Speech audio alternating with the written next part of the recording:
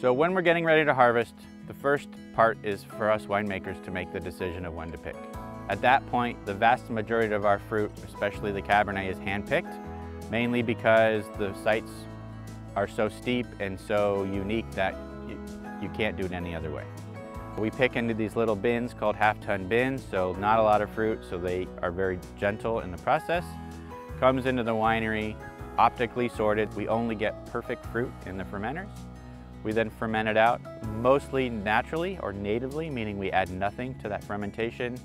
Uh, and then it ferments out to wine. We put it in barrels for aging, all French oak. And then eventually after several months of aging, between 18 to 24 months, depending on the wine, it will make it into a bottle and then to your table.